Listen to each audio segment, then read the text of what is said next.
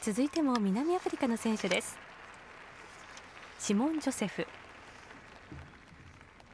ショートプログラムは15位でした。161センチ16歳の選手です。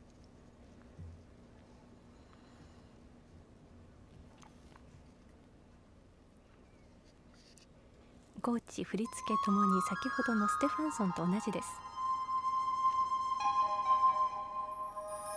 音楽はデザートビジョン。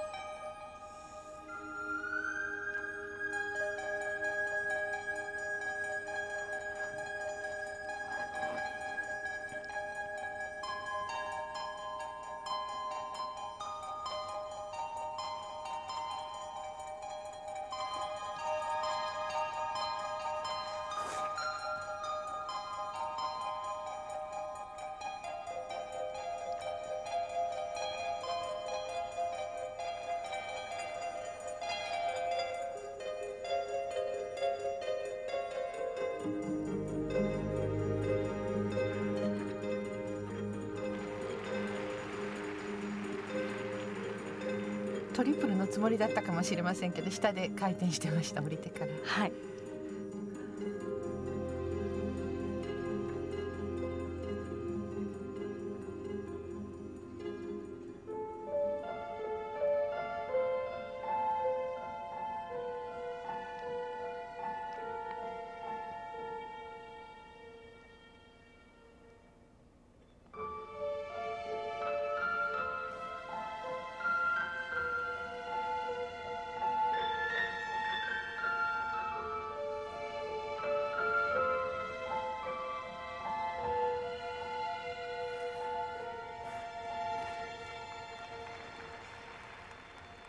ブルアクセルはステッピングアウトです。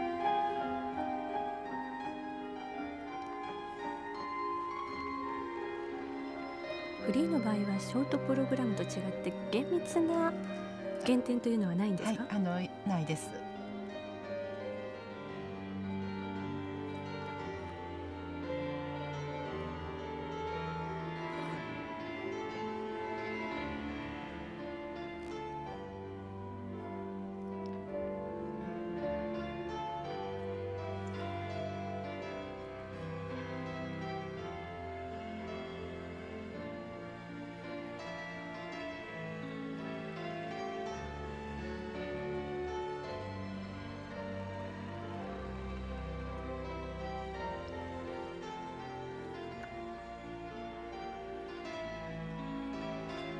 ピンの質が良くないですね。回転がやはり綺麗なセンターらセンターを取って回ってないんですよね。はい。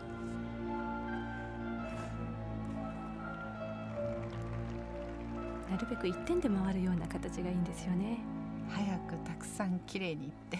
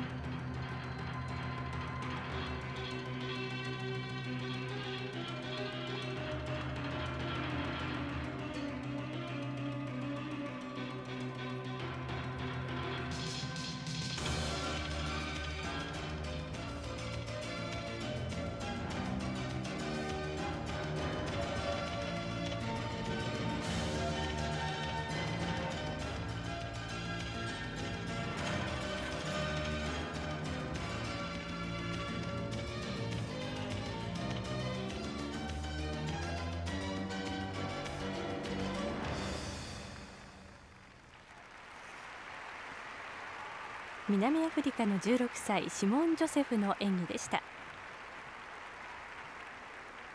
ウェルバランスプログラムじゃなかったんです。はい。ジャンプは全部単独のジャンプだけでジャンプコンビネーションジャンプシークエンスっていうところが入ってなかったんです。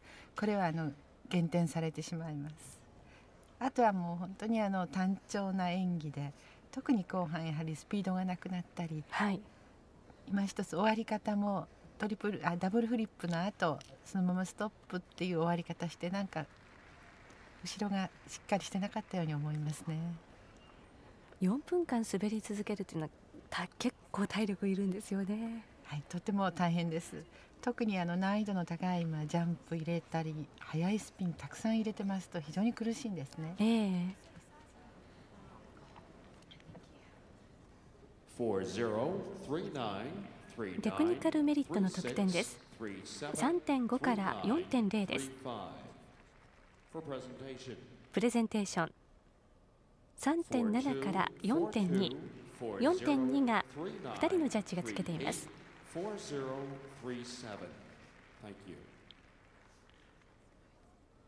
Our next competitor represents China.